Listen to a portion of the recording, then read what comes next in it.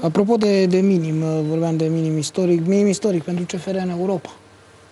Uh, ieri uh, ați pierdut la, la Randers. Ce se poate face, Marius? Că vorbeam și în prima parte. Sigur, acum știm, ăștia suntem. Minim istoric nu doar pentru CFR, pentru toate echipele din România. Fotbalul românesc e la pământ în, în Europa, asta ne spun rezultatele ultimilor ani la uh, restul echipelor, la voi doar anul ăsta. Uh, dar ce se poate face? Și acum, ce se poate face pe sezonul viitor? Pentru că acum de academii și de așa ceva au mai vorbit unii, de astea parcă sunt investiții pe termen lung. Da, ai punctat bine. CFR, într-adevăr, a fost echipa care a ținut așa steagul sus pentru, pentru România în ultimii ani în competițiile europene și, din păcate, anul acesta n-a mai reușit acest lucru. Aveți explicații? Așa ar fi ușor să găsești uh, explicații la mm, situația actuală. Mm, cred eu că uh, scuze se pot găsi întotdeauna. Unele sunt uh, întemeiate, unele nu, dar cred eu că mm, momentul n-a fost unul, n-a fost unul bun pentru noi. Puteam obține mai mult, într-adevăr, dar și, eu știu, adversarii care i-am întâlnit, poate i-am prins într-o formă foarte bună în momentele acelea. A fost, cred că, un cumul de factori care au dus la, la această situație. Am avut și neșansă, zic eu, în unele momente importante și cheie ale partidelor. Dar trebuie să, trebuie să învățăm din, din această situație, una care nu, nu ne mulțumește. Dar uh, eu cred că asta, asta fac uh, cluburile puternice, învață din, uh, învață din experiențe de acest gen și uh, sunt convins că asta trebuie să facem în, în continuare, în perioada următoare, să vedem ce, ce a fost greșit, tocmai pentru ca anul următor să nu mai trăim asemenea momente.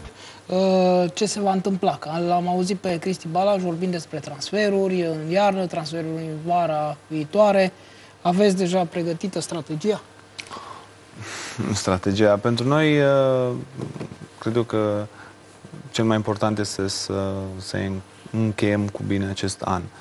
Uh, mai sunt jocuri importante pe care le avem de desfășurat și cred eu că tot ceea ce se întâmplă la club și, eu știu, pregătirea pe care o fac uh, jucătorii trebuie să fie canalizată pe, pe aceste meciuri uh, care Bine, și poate asta, să dea, și asta i-ar putea motiva, Marius, uh, dacă știu că vor pleca unii, că vin alții.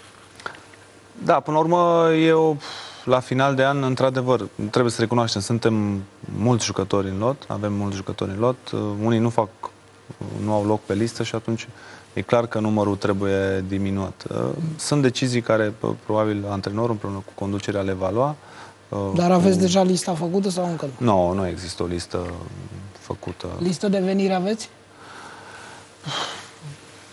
Se urmăresc jucători, că întotdeauna ah. pe adresa clubului sosești propuneri de jucători și bă, asta se întâmplă pe tot parcursul, indiferent că sunt perioade de transferuri sau nu. Dar uh, cred eu că e foarte important și decizia care se va lua la final de, de an, și aici mă refer la antrenor, conducere, patronat, uh, legată de strategia următoare, când poți să-ți faci uh, niște planuri, uh, cel Român, puțin până la vară. Obiective, mă gândesc că tot așa, titlu, grupele europene. Da, acum, și ești pe primul loc, n-ar fi, fi absurd să spui că nu, nu-ți dorești. Păi nu, că la un moment dat să știi că s-a vorbit de insolvențe și de alte lucruri. Da, s-au discutat foarte multe de lucruri. Unele au fost... Mm alimentate, unele n-au, fost, n-au avut uh, fundament. Deci, uh, așa cum a spus și Mircea Renic, sunt multe zvonuri în, în, în fotbal. Așa.